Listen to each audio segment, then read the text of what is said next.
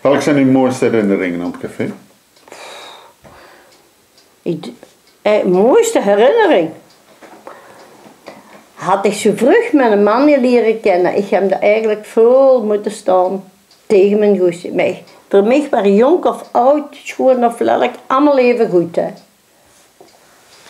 Maar ja, ik had het liever niet hebben, want ik heb zelf drie dochters. Jij moet later café. Vroeger moesten er kind maskers in een café staan, maar de dag van heden en mee. Vroeger ook geen vrouwen op gang. Nee, nee, staan er meer mannen in een café als vrouwen. Dat is helemaal anders tegen vroeger, hè.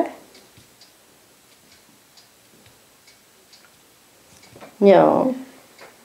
Maar ik ga de vraag anders stellen als, als, als, als, als kind, hè? want welke leeftijd hadden als, als uw ma de café opendeed daar in de Mijnlamp?